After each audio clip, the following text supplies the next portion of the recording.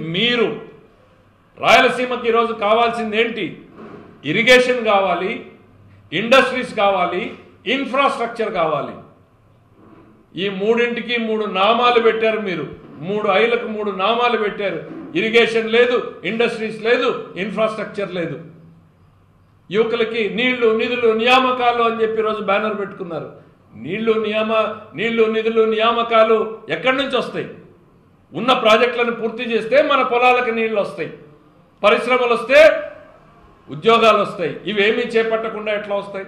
హంద్రిని widening అని చెప్పి ఆర్భాటంగా ప్రకటన చేశారు. ఒక్క మీటర్ తవ్వారా?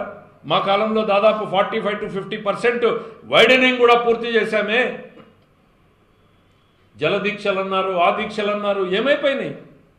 బీటీపీ ప్రాజెక్ట్ ఏమైపోయింది? పేరూరు ప్రాజెక్ట్ ఏమైపోయింది? మా మెగా డ్రిప్ ప్రాజెక్ట్ ఏమైంది? రాయలసీమకు అసలు సీసలు ద్రోహం చేస్తున్నటువంటిది ఈరోజు వైఎస్ఆర్ కాంగ్రెస్ పార్టీ ప్రజాప్రతినిధులే. ఇవాళ టమోటా రైతులు పది పైసలకు అమ్ముకునేటువంటి పరిస్థితులు ఉంటే వాళ్ళని కాపాడాలనేటువంటి ఆలోచన లేదా? నష్టపోయినటువంటి రైతాంగానికి ఇన్సూరెన్స్ ఇన్పుట్ సబ్సిడీ ఇవ్వాలి అన్నటువంటి ఆలోచన లేదా? గత చంద్రబాబు నాయుడు గారి ప్రభుత్వంలో వచ్చినటువంటి ఇన్సూరెన్స్ ఇన్పుట్ సబ్సిడీలు ఎంత? మీ ప్రభుత్వంలో వచ్చినటువంటి ఇన్సూరెన్స్ ఇన్పుట్ సబ్సిడీలు ఎంత? చేనేత వృత్తిని ఆదుకోవాల్సినటువంటి అవసరం లేదా? సబ్సిడీ మీద వాళ్ళకి నూలు లేకపోతే రేషన్ ఇవ్వాల్సినటువంటి అవసరం లేదా? ఇవి రాయలసీమకి ఈరోజు కావాల్సింది. కడుపు కాలినటువంటి రైతాంగం అడుగుతున్నది వారి ఆకాంక్ష ఏంటి అనంటే మా పొలాలకు నీళ్ళు ఇవ్వండి అవకాశం ఉంటే డ్రిప్ ఇవ్వండి ఇరవై నాలుగు గంటలు కరెంట్ ఇవ్వండి మా బాధలు ఏమేమి మేము పడతామంటూ ఉంటే ఓ మీటింగ్ పెట్టుకుని గర్జన పేరుతో చంద్రబాబు నాయుడు గారిని తెలుగుదేశం పార్టీ హయాన్ని తిప్పుతూ కూర్చుంటే ఈ రాష్ట్ర ప్రజానీకం కానీ రాయలసీమ ప్రజానీకం కానీ హర్షించరు. ఖచ్చితంగా నేను సవాల్ చేస్తున్న రాయలసీమకి ఇవాళ ద్రోహం చేసింది వైఎస్ఆర్ కాంగ్రెస్ పార్టీ నాయకులు ప్రజాప్రతినిధులే తప్ప తెలుగుదేశం ప్రభుత్వం కాదు. రాయలసీమ ఇరిగేషన్ పెట్టుబడి రాయలసీమ ఇరిగేషన్ ప్రాజెక్టుల మీద చేసినటువంటి ఖర్చుల్ని గత ఐదేళ్ళలో ఎంత జరిగింది? ఈ మూడున్నర సంవత్సరాల్లో ఎంత జరిగిందో చర్చకు పెట్టమని చెప్పి నేను అడుగుతున్నా.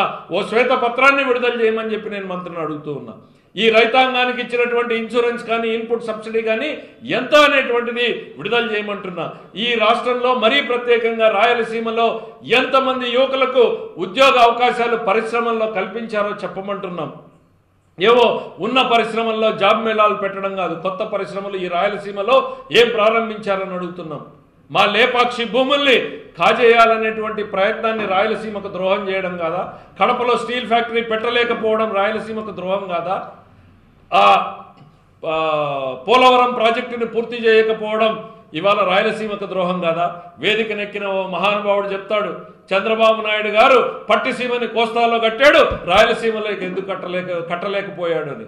మహానుభావుడికి నమస్కారం. రాయలసీమలో పట్టిసీమ ప్రాజెక్టు కట్టాలంట.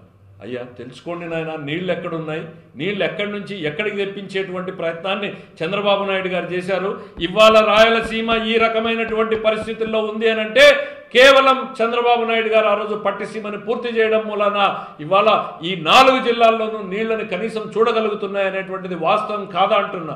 అటువంటి పట్టిసీమ కట్టిన రోజున మీరు ఎంత అల్లరి చేశారు? కోస్తా జిల్లాల్లో రెచ్చగొట్టింది వాస్తవం కాదా? అది రాయలసీమకు మీరు చేసినటువంటి ద్రోహం కాదా? ఇవాళ మీరు రాయలసీమ గురించి రాయలసీమ ద్రోహాల గురించి మాట్లాడితే మేము వింటూ ఉండాలని నేను అడుగుతున్నాను